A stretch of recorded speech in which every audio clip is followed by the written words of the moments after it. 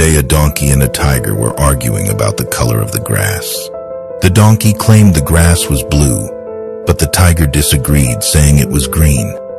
Seeking to settle the debate, they approached the lion. Before reaching the lion, the donkey shouted, Isn't it true the grass is blue? The lion agreed it was.